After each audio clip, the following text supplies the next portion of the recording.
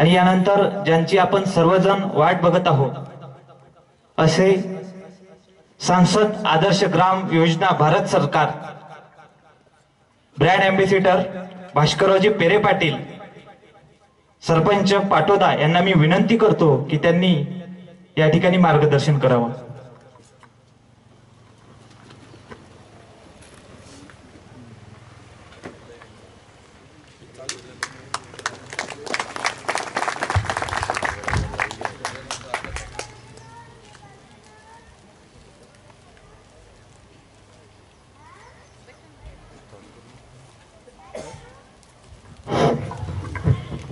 जगद्गुरु तुकाराम महाराज राष्ट्रसंत तुकडोजी महाराज राष्ट्रसंत गाडगे बाबा आणि मला ज्यांच्याबद्दल अत्यंत आदर आहे असे आपल्या देशाचे माजी राष्ट्रपती कैलासवासी अब्दुल कलाम साहेब यांना वंदन करून आज या दिवसा गावामध्ये सेवारत फाउंडेशनच्या वतीनं जो कार्यक्रम आयोजित केला यामध्ये भजन स्पर्धा पण घेतल्या आणि आपल्या तालुक्यातील सर्व गावं सर्व ग्रामपंचायती यांचा चांगल्या पद्धतीने विकास व्हावा या हेतूनं या मंडळीनं ह्या मेळाव्याचं आयोजन केलेलं आहे. त्यामध्ये आम्हालाही सहभागी करून घेतलं तुमच्या दर्शनाची संधी दिली. त्याबद्दल आयोजकाचे मी मनापासून आभार मानतो. या कार्यक्रमासाठी आपल्या तालुक्यातील अन्यवर मान्यवर मंडळी उपस्थित आहे. त्यात आमचे मित्र रवी भाऊ हे पण आवर्जून आहे वानखडे भाऊ पण आहे. अनेक मंडळ आहे मी सगळ्यांचे नाव घ्यायला मला शक्य नाही मी बऱ्याच जणाला ओळखत पण नाही. समोर बसलेले काही परिसरातील भजनी मंडळाचे कार्यकर्ते ग्रामपंचायतीचे कार्यकर्ते महिला मंडळ तुमच्या सगळ्यांचं मी मनापासून स्वागत करतो. आत्ता भाऊने सांगितल्याप्रमाणे माझं ओळख दिले. तुम्ही कधी ऐकलं असेल माझे नाव कुठं वाचलं असेल माहीत नाही. औरंगाबाद जवळ माझं गाव आहे दहा किलोमीटर गावचं नाव आहे पाटोदा. पंच्याण्णवला माझी ग्रामपंचायत स्थापन झाली तेव्हापासून मी तिथे काम करतो. पंचवीस वर्ष झाले मला त्या ग्रामपंचायतमध्ये काम करायला. आधी ग्रामपंचायत नव्हती आम्हाला. लोकांनी साथ दिली मला पाच वेळेस निवडून दिलं. घरून बी साथ मिळाली. घरी काही खूप व्याप नव्हता जमीन नाही बकरी नाही गाय नाही मुलगा बी नाही. देवाचे उपकार आहे त्यानं हे भानगडी काही दिलं नाही आपल्याला. मुली आहे पाच लग्न होऊन ज्याचे त्याच्या घरी गेले दोघांचे घरात काय तकलीफ नाही. बायको एकदा रात्री सकाळी फोन करून चौकशी करून घेते. आपण म्हणलं हा हाय सगळं व्यवस्थित आहे. म्हणलं का ते कपाळाला ठपका मारून घेते. हाय बा आपलं माणूस म्हणून खात्री करते. पण मी जाऊन काय करतो तिला माहीत असल्यामुळे ती पण सुखी आहे. मी पण सुखी आहे. ग्रामविकासाच्या बाबतीत काय करायचं मी काय नवं सांगावं असं माझ्याकडे नवं काय नाही. आपल्या सगळ्या राष्ट्रपुरुषांना हे सगळं सांगितलेलं आहे. सगळ्यांनी सांगितलेलं आहे. फक्त प्रत्येकाची भाषा वेगळी असत सांगण्याची. या सगळ्या भाषेचा सार तुकडोजी महाराजांनी एकदम सोप्या भाषेत सांगितलेलं आहे की प्रत्येक माणसाला कळण अशी भाषा मांडलेली आहे. उलट तुम्ही नशिवान आहे त्या परिसरात त्या भागात त्या भूमीत तुम्ही जन्माला आले. एवढं सोपं ज्ञान जगात कुठे कोणी सांगितलेलं नाही पहिलं ग्रामगीता. आणि ग्रामगीता वाचा अभ्यास करा. त्याच्याप्रमाणे वागा. गावाचं चांगलं होईल स्वतःचं चांगलं होईल देशाचं चांगलं होईल मी एवढं सत्य असताना लोक का करत नाही? हे एक प्रश्न का करत नाही मग? हे जर खरंय तर लोक का करत नाही? याचा अर्थ लोकांचा विश्वास नाही. आणि लोकांना ते अनुभवलं नाही. ते चाखून पाहिलं नाही ना. पाहिल्याशिवाय तुम्हाला कसं कळन ते? बाई गरोदर राहिल्यापासून तो वर्ष श्राद्ध होईपर्यंत काय करायचं ग्रामगीतेत सांगितलेलं आहे. प्रत्येक गोष्ट सांगितलेली आहे. म्हणजे तुम्हाला जे आयुष्यभर जे काय साठ सत्तर ऐंशी वर्षाचं वय आहे तेवढ्यात जे करायचं ते सगळं ग्रामगीतेत सांगितलेलं आहे. आम्ही ऐकतो पण काम करत नाही त्या पद्धतीने वागत नाही म्हणून प्रॉब्लेम आहे. त्याचा परिणाम असा होत चालला लोकांचा याच्यावर विश्वास उडत चालला ना. मग ते तुकाराम महाराजाचं गाथा असो नाथाचं भागवत असो ज्ञानेश्वरी असो पर्यायाने काय ग्रामगीतेचं तेच होणार. का त्याला जर फळं आले नाही तर लोकांचा विश्वास बसणार नाही. आणि खुद्द महाराजाने ग्रामगीतेत सांगितलं की ग्रामगीता ही काही पारायण करायला नाही. पारायणाची वस्तू नाहीये. ही काय दोन दिवस आणि चार दिवस म्हणत बसायची वस्तू नाही. त्याच्यासाठी ग्रामगीता लिहिली नाही. मग कशासाठी लिहिली? तुमचं जीवन बदलायसाठी लिहिली. मग काय आम्हाला प्रॉब्लेम आहे? आणि न वाचल्यामुळं एवढं मोठं धन आमच्या देशात असताना ते व्हायला चाललं. ते चालता चालता आंधळाला सोन्याच्या भांड्याची ठोकर लागल्यासारखा प्रकार आहे ना? ते म्हणते लोकांनी दगडामध्ये टाकले. आला की सोन्याचं भांड. तसे आमच्यासारखे हजारो आंधळे तेच म्हणते एवढं मोठं सोन्याचं भांडार असताना आम्ही दगडामध्ये पडले म्हणतो. हेच म्हणतो आम्ही. लाल टोपी दिसले तर काही लोक पळून जाते बाजूला. त्याला दगड दिसते ती मध्ये रस्त्यात. त्याला वाटतं ही बनबन आली बनबन. कारण काय? त्याला योग्य त्याला फळं लागत नाही म्हणून ते. आहे. माझी तुम्हाला हात जोडून विनंती आहे. तुमच्या तालुक्यातल्या काही मंडळींनी रवी भाऊना यांनी पुढाकार घेऊन या तालुक्याचा विकास करायचे इच्छा निर्माण केली. चांगली गोष्ट आहे. अनेक क्षेत्रातले लोक करते राजकीय करते सामाजिक करते अधिकारी करते. सगळ्यांनी मिळून करायचे कोण एका म्हणलं म्हणून त्याचं काही लहान मोठं होत नसतं. दर महिन्याला आढावा बैठक घ्यायची म्हणते. मी माझ्याकडून शब्द देतो रवी भाऊ तुम्ही जर फिक्स तारीख ठेवली एक दर महिन्याला मी सहा महिने त्या आढावी बैठकीला मोजरीमध्ये येईन. मोजरीत ठेवा तुम्ही ते. मोजरीत ठेवा मी तिथे सहा महिना येईन. आपण सगळ्या सरपंच सदस्य तंत्रमुक्त अध्यक्षाला तिथे बोलवा. याचा प्रोग्राम बनवताना असं बोलवा बनवा की कमीत कमी खर्चातल्या कमीत कमी काय समस्या त्या गावामध्ये आहेत, त्यांनी मांडायच्या. प्रत्येक गावाने पाच सहा सात समस्या मांडा. आणि प्रत्येक गावाचा मग आढावा घ्या की याला काय करता येईल याला काय करता येईल. मग तिथे बीडीओ साहेब येतील. पंचायतचे सीओ येतील यांच्यासारखे पुढारी येतील. प्रत्येकाचा जर हातभार लागला माझ्याकडून होण्यासारखं मी करीन यांच्याकडून होण्यासारखं हे करीन यांच्याकडून होण्यासारखं ते करीन यांच्याकडून होण्यासारखं कामं हे करत असं बीडीओ कोण होणार असेल समाजाकडून होणार असेल तर तालुक्याचा विकास व्हायला काय लागत काही लागत नाही. माझ्या अंदाजाने पैसा हा आमच्या पुढे दुय्यम गोष्ट आहे. पैशाने आम्ही मागे राहिलो नाही. खूप पैसा आहे आमच्याजवळ. खूप म्हणजे खूपच पैसा आहे. पण माणसाची भावना वेगळी झाली विचार बदलला. जो माणूस पन्नास रुपयाची दारू पितो ना संध्याकाळी मंजूर माणूस. पन्नास रुपयाची दारू सहज पितो तो सहज. पैसे नसले उसने घेऊन पिईन त्याला जर म्हणलं ना आपण हे दारू नको पिऊ एक लिटर दुधाचा उकडा लाव तू रोज घरच्याला. तो आपल्याला शिवाय घालीन. तो डोकं खराब झालं का म्हणत एक लिटर दूध काय करायचं आम्हाला? एक लिटर दूध तो घेऊ शकत नाही. मग त्याच्याजवळ पैसे नाही का त्याला घ्यायचं नाही त्याला घ्यायचं नाही हे दूध. तुम्ही पहा पन्नास रुपयाची दारू काटर पिणारा माणूस दूध केवढ्याचं घेतो? पाच रुपयाचं. त्याच्याकडे ते नाहीये का? आहे त्याला ते वळण नाही. त्याच्या डोक्यात ते फिट बसलं. तसं झालं आपल्याकडे. फक्त तो देशी पेणार आहे. आपण जरशी भारी पेतो. फरक काहीच नाही. काही फरक नाही त्याच्यात आपलं. काय करायचंय आपल्याला ग्रामविकासात पिण्याचे पाणी स्वच्छ पाहिजे. नीट लिहून घ्या आपल्याला सहा महिन्याचा प्रोग्रामच बनवायचा हा. एक पिण्याचे पाणी स्वच्छ पाहिजे. दोन वापरलेलं पाणी जमिनीत जिरवलं पाहिजे. तीन गावात साफसफाई स्वच्छता पाहिजे. संडासच्या वापरासह चार फळझाडं लावले पाहिजे. पाच मुलाचे शिक्षण चांगल्या पद्धतीने झालं पाहिजे. संपलं. काय लागत नाही याला? काय पैसा लागत नाही काय. जरी केलं, एवढंच. तुम्ही विश्वास बसणार नाही तुम्हाला. भारत महासत्ता होईन एवढं केलं तर. महासत्ता होईन म्हणतो मी महासत्ता. हा शब्द आहे. आणि मी मनाचं बोलत नाही संतांच्या विचारातून बोलतो. आमच्या अब्दुल कलाम साहेबांचं म्हणणं होतं दोन हजार बावीस ला महासत्ता करायचं. महासत्ता करायचं म्हणजे काय? आम्हाला दुसऱ्या देशावर बॉम्ब टाकायचे का? दुसऱ्या देशाची जमीन घ्यायची का? मग महासत्ता करायची म्हणजे नेमकं काय करायचं?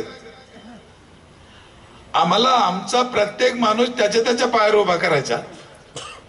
प्रत्येक कुटुंब त्याच्या पायावर उभा करायचं. पर्यायाने ते गाव त्याच्या पायावर उभं राहिलं पाहिजे. पर्यायाने देश त्याच्या पायावर उभं राहील. चाललं. आज रोज आम्ही कर्ज काढून काढून काढून काढून परेशान आहे. शेवटच्या माणसापासून तर देश कर्जच काढून आणि किती दिवस कर्ज काढीन तुम्ही? ज्या अर्थी तुमचं कर्ज वाढत चाललं त्या अर्थी तुम्ही पारतंत्र्यात जायच्या जवळ चालले लक्षात ठेवा. पैसे फेडणार कसे काय? मग एक दिवस दुसरा देश तुम्हाला दाबूनच टाकेन ना पैसे ठेवून येते एक बाजूला. हेच होईल ना. माझे हात जोडून विनंती आहे चांगला विचार करा. आमच्या बाप दादाने एवढं स्वातंत्र्य आम्हाला कमवून ठेवलं. हे आटपायच्या दिशेने चाललंय. प्रत्येक जातीतला माणूस मोर्चा काढतो. प्रत्येक धंद्यातला माणूस मोर्चा काढतो. कुणी उठवतो आम्हाला हे द्या आम्हाला हे द्या आम्हाला हे माफ करा आम्हाला हे ते माफ करा. एक जण विचार करत नाही कैक लाख कोटी सरकारवर कर्ज आहे तर ते देईन काय तो? कशातून दे? तुम्ही शेतकरी आम्ही शेतकरी राग येऊन देऊ नका चर्चा करायला हरकत नाही. आज मी शेतकरी कर्जमाफी मागतोय सरकार बी देत आहे माझं उलट म्हणणं आहे जर तुमच्यावर कर्ज आहे तर तुम्ही माफी देता कशातून? कशातून देता? पैसा आहे का? मग पैसा नाही मग देता काय तू? आणखीन कर्ज काढून. हाच त्याचा अर्थ झाला ना. उद्या दुसरा कोणी येईन हे द्या त्याला द्या आणखीन कर्ज काढून. म्हणजे कसं व्हायचं आमचं? आम्ही कधीतरी म्हणलो का की बा आमचं राज्य कर्जमुक्त झालं पाहिजे याच्यासाठी मोर्चा आम्ही काढू. काढलं पाहिजे ना? कधीतरी कोणी उमेदवार एखादा पक्ष म्हणला का मी ह्या पाच वर्षात आपलं राज्य कर्जमुक्त करीन आम्हाला मतदान करा. ना ते तुम्हाला काय देईन सांगतं? कारण आम्ही लालची आम्ही त्यालाच फसतो ना? आणि ही एकमेकाला सवय लागत गेली. आपल्याला कोणाला नाव ठेवायचं नाही. मग आम्ही बदललं पाहिजे. आम्ही बदलू पुढारी बदलन अधिकारी बदलन ना आमच्या हातात आहे ना ते. काय काय योजना आहे? नऊशे साठ योजना आहे साहेब. नऊशे साठ. डोकं फुटून जायची बारी येते तुम्ही व्हिडिओला विचारा. त्याच्या बी ध्यानात नाही नऊशे साठ का आहे तहसीलदाराला विचारा. शिवोला विचारा. नाही. जेव्हा काम पडेल ते पुस्तक काढीन त्या योजनेचा अभ्यास करीन करीन. मी एका मीटिंगमध्ये बसलो आमदार साहेब होते असे बोललो नऊशे साठ योजना आहे. ते मला म्हणे खरंच आहे का म्हणे? अरे मला तुम्हीच काढल्या ना. तुम्हीच काढल्या ना आम्हाला विचारते खरंच आहे का? काय योजना नाहीये. आणि काय सरकारनं द्यायचं बाकी ठेवलं काय करायचं बाकी ठेवलं? तुम्हाला राग येणार नसेल एक वाईट शब्द बोलू. हर गोष्टीला योजना. सायकलीला योजना फटफटीला योजना ट्रॅक्टरला योजना घरकुलाला योजना सामुदायिक लग्नाला योजना आंतरजातीय योजना मुलगी झाली ती योजना अपंग झाला योजना मत्र झालं योजना शाळात योजना खिचडीला योजना. इथे जे योजना पोरग लहानसे घे योजना बाई गरोदर राहिली योजना. आमच्यासाठी काही काम आहे का नाही? काय? हा मी राग राग बोलत राहतो. काहीच काम नाही आमच्यासाठी आता. एकच काम उरलं आमच्यासाठी. जनता जनार्दन पैदा करणे एवढं एक काम आहे आमचं. ते बी सरकारच्या हवली करून द्या मोकळं होऊन जा आता आम्ही. काय नाही ते काय ते काय कशाला जगता कशाला जर तुमच्या पायावर तुम्हाला काही जगायचंच नाही ते कशाला जगता? बोज कशाला होतं कोणाला? हे ऐकायला जरी वाईट आहे पण सत्य आहे साहेब. छत्रपती शिवाजी महाराजांच्या काळात एक बी योजना नव्हती. आगावपणाचा शब्द आहे हा. तरी ते राज्य चांगलं होतं. एकही योजना नव्हती. मग काय होतं तेव्हा? तेव्हा जातीपातीचं राजकारण नव्हतं. तोंड पाहून काम करत नव्हते. आणि प्रत्येक माणसाला त्याच्या पायावर उभा करीत होते. त्याला जगायला शिकवत होते. आता आम्ही अपंग होत चाललो ना पंगू होत चाललो ना. एसटीत अर्ध तिकीट रेल्वेत अर्ध तिकीट अरे क- काय कशात नाही हो तुम्ही पाहणं. हो सामुदायिक लग्न केलं हाय तिला भांडेकुंड द्या फलने द्या बिस्तने द्या काय? घरकुल द्या जागा द्या. जागा नसेल तर घरकुलसाठी जागा घ्यायला पन्नास हजार रुपये रेस्टला द्या. राखेल द्या राशन द्या. कितीतरी गोष्टी शासनाच्या योजना आहे कितीतरी हजारो. लहान पोराला शेंगदाण्याचा लाडू द्या फलन बिस्तनं द्या त्या अंगणवाडीत मठ द्या. अरे आम्हाला एक पोरग सांभाळणं होईना ती अंगणवाडीत ताई पस्तीस कशी सांभाळी त्याच्यामुळे माणूस भरकटत चालला आणि त्याला असं वाटत चाललं की मला फुकट येतंय फुकट येतंय मग ती कष्ट करायची त्याची धमक नाही राहिली याचा परिणाम असा झाला शंभर वर्षाचं आयुष्य होतं आम्हाला आम्ही किती वर्षावर आला होता साठ चाळीस वर्ष आमचं आयुष्य कमी झालं हसत सांगतो आम्ही हसत शंभर वर्षाचं आयुष्य हे संतांनी सांगितलेलं आहे. आज जपानमध्ये शंभर वर्षाचा माणूस काम करतोय. काम करतो. आम्ही साठ वर्ष जगतो म्हणून राहिलो. चाळीस वर्ष आयुष्य आमचं कमी झालं याच्यात काय पाकिस्तानचा हात आहे का? कसं कशानं कमी झालं? कोणा केलं? एखाद्या बाईला जर म्हणलं तुझं पोरग एक वर्ष लवकर मरण. किती रागीन? आणि आता चाळीस वर्ष आयुष्य आमचं कमी झालं म्हणतो आम्हाला काही लाज वाटत नाही त्याची. आता जर शंभरातले चाळीस कमी होऊन साठ उरले मग साठातले चाळीस गेले आणखीन जाऊ शकते ना? आता काही नवल नाही त्याच्यातलं. आपल्या डोळ्यात एकच झालं. खाली किती उरण? वीस. आणि पोराचं लग्न कितव्या वर्षी होत? म्हणजे बिगर लग्नाच जाईन ते. आणि पोरग बिगर लग्नात जाईन म्हणजे पोरगी बिगर लग्नाचीच जाईन ना? इथपर्यंत पाळी आली आमची. मग ते काय सध्या घाई झाली त्याला? चोऱ्याच्या मार्गाने जीवन जगायला पाहतो. भोपळ्याला इंजेक्शन देतो. टरबुजाला इंजेक्शन देतो. म्हशीला इंजेक्शन देतो. पटकन दूध दिलं पाहिजे. काय पळून चाललं दूध कुठं तिचं? पण ते पिसाळ्यानं त्याला घाई झाली ना साहेब. आंब्याला औषध लावीन केळाला औषध लावीन. कशात मी केमिकल घालीन. खायचं कोणाला आपल्याला. पण ते माणसाला खायचं हे विसरून गेलं ना ते. म्हणून ते सांगितलं तुम्हाला मला मला माणूस दाखवा माणूस दाखवा. म्हणजे माणूस द्या म्हणजे मान पण आम्हाला नाही ना ते राहिलं नाही. माझी तुम्हाला हात जोडून विनंती आहे. काय झालं आमचा एक भरोसा नाही का आमच्या बिगर कोणी सज्जन नाही हा आमचा विश्वासच राहिला नाही. हे मोठा धोका हा. माझी तुम्हाला विनंती आहे कोणालाही वाटतं मी आहे सज्जन पण शेजारचं सज्जन नाही. मी आहे सज्जन पण इकडचं सज्जन नाही. आणि हितच धोका झाला त्याला म्हणून याचा सज्जनपणा चालला. माझं तुम्हाला एकच हात जोडून विनंती आहे. सव्वाशे कोटीतले एकशे चोवीस कोटी नव्याण्णव लाख नव्याण्णव हजार जरी बिघडले तर आपण बिघडायचं नाही. आपण आपल्या याच्यावर ठाम राहा देशाचं चांगलं होईल. तुम्ही शेजारी चांगला नाही बाकीचा चांगला नाही हे म्हणतच रडत बसता. आणि इतकं दादन रडतो तो कोणा सरपंचाला विचार गाव चांगलं कर ना भाऊ काय प्रॉब्लेम आहे तुला? ते म्हणतो गाव चांगलं केलं असते दादा पण माझ्या गावचे लोक लय हलकट आहे कोण म्हणतो? सरपंच म्हणतो. आम्ही लय बाळा ऐकलं एका सरपंचाला म्हणलं बाबा तुझ्या गावची लोकसंख्या किती? म्हणे तीन हजार. किती सदस्य आहे? म्हणे नऊ. म्हणलं असं धरलं तुझ्या गावचे तीन हजारचे तीन हजार लोक हलकट आहे त्याच्यातून तुम्ही किती निवडून आले? नऊ. कोणातून? नऊ हजार तीन हजार हलकटातून.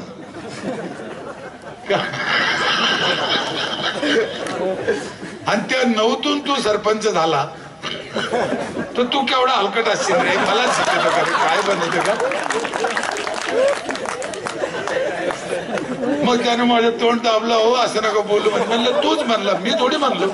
तूच म्हणतो माझ्या गावचे लोक हलकट मी थोडी म्हणतो राहिलो. मी तर म्हणतो तीन हजार ते तीन हजार सज्जन येतोय. त्या तीन हजार सज्जनातून तुम्ही नऊ सज्जन निवडून आले. त्याच्यातून तो सरपंच झाला. किती सज्जन असेल असं म्हण ना. मी कुठं नाही म्हणतो. तूच म्हणतो माझ्या गावचे लोक हलकट आता कधीच नाही म्हणायचो म्हणे माझ्या गावचे लोक हलकट म्हणलं नाही नको म्हणूच नको. लोक चांगले आहे समाज चांगला आहे. त्याला चांगल्या मार्गाला घेऊन जा. आणि सगळ्यात सर काय झालं?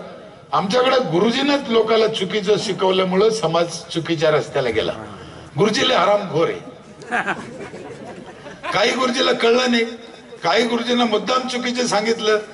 काही गुरुजींना सांगितलं म्हणून सांगितलं प्रथा म्हणून. नाही ते समाज ऐकतो काही बी ऐकतो. तुम्ही पहा इथे बसलेले लोक. म्हणा मम म्हणला मम. लाव डोळ्याला पाणी लावलं डोळ्याला पाणी. काऊन लावलं का? झोपला होता का?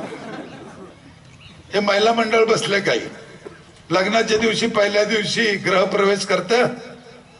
काय करतो आपण ग्रहप्रवेश करायला? इकडे पद्धत काय आहे? तांदूळ. तांदूळाची पायरी. तांबा काय ठेवते? तांदूळ. त्याला ठोकर मारते. काऊन मारते? कोणालाच माहीत नाही. आता एवढ्या जणी ठोकरून आलं ना तुम्ही यांना विचारा काऊन ठोकरलं? ती म्हणते मागच्या ठोकरलं मग पुढच्या ठोकरला. काहीच माहिती काय घेणं नाही देणार नाही. मला मला ठोकरायचा राग नाहीये. माझं म्हणणं आहे समाज ऐकतो. त्याला नीट शिकवा तुम्ही तो ऐकतो. आमच्या इथं आम्ही काय याला जोड लावली? की बाबा तांब्यात तांदूळ ठोकरायचं तर ठोकरा. पण त्याच्या आधी दरवाज्यात एक झाड लावा फळाचं. नवरदेव नवरीनं खड्ड करून मग घरात जा. चालू झालं ते चालू झालं. नवरदेव नवरी एक झाड लावते मस्त पूजा करते त्या झाडाची मग घरात जाते. आणि त्यानंच लावायचं त्यानंच खड्ड करायचं. एका म्हातारीनं पाहिलं नवरी खड्ड करत होती? पहिला दिवस हल्दीचा अंग चुडा उतरला नाही नवरीला खड्ड करायला लावतो. मला भास्क्याचंच काम असेल म्हणे. मी लाव मीच सांगितलं आजी ही नवीन पद्धत आली आता. आणि ही गुजरातहून आली म्हणलं आपल्याकडची नाही ही पद्धत. काय पद्धत आहे? मी म्हणलं पहिल्या दिवशी झाड लावलं नवरदेव नवरीना. तर लेकरूबाल जगत नाही. तर जगतच नाही. असं आहे का म्हणे म्हातारी माती लोटू लागली चांगला आहे चांगला आहे. म्हणे. समाजाला सांगा आणि मी खोटं नाही सांगितलं. जर नाही लावले झाड तर लेकर बाळ जगायचीच नाही. त्याचं कारण असं आहे एका माणसाला चार झाडं लागते जगायला. आम्हाला काय शिकवलं या जगात माणूस जन्माला आला सगळ्यात आधी त्याला आईचं दूध लागतं खोट आहे. सगळ्यात आधी त्याला ऑक्सिजन लागतो. तो ऑक्सिजन झाडातून मिळतो. म्हणून चार झाडं त्याला जगायला पाहिजे. दिल्लीत काय हाल चालू आहे? ऑक्सिजन मिळाना. मग आम्ही करायचं ना हो ये आता तुमच्या दिवसाची लोकसंख्या किती? शहराची धरा? वीस हजार. म्हणजे झाडं किती पाहिजे? ऐंशी हजार. चार झाडं पाहिजे ना एका माणसाला? मोजून पहा.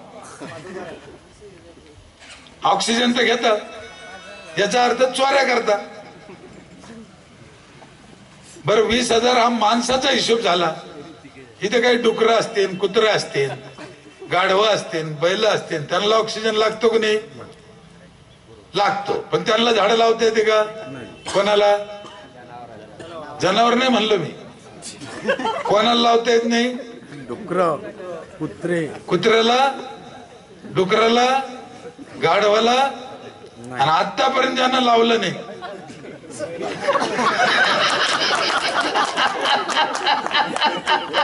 त्याला काय म्हणायचं मग? कुत्र्याला झाड लावता येत नाही. गाढवाला झाड लावता येत नाही. उलट त्याच्या वाटेत झाड आम्ही लावायचं असतं. आणि असंच आहे चांगलं काम करायला थोडाच लोक असते. जास्त लोक येत नसते. पदाधिकारी पुढारी व्हायचं का? आपल्याला वाटतं एकट्यानं व्हावं. आणि काम करायचं का? बाकी जण करावं म्हणतो. अरे असं कसं